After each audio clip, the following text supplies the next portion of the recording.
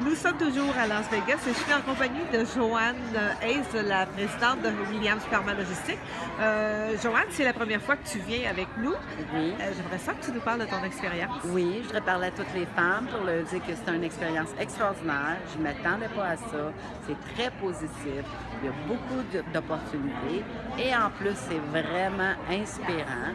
Moi, j'étais sur un panel et ça m'a vraiment apporté beaucoup de choses. Il y a beaucoup de gens qui m'ont, qui m'ont approché pour me féliciter en savoir plus sur ma compagnie. Et je vous encourage et je vous inspire à venir ici au WeBank à chaque année parce que c'est vraiment génial et vous allez repartir empowered et inspiré.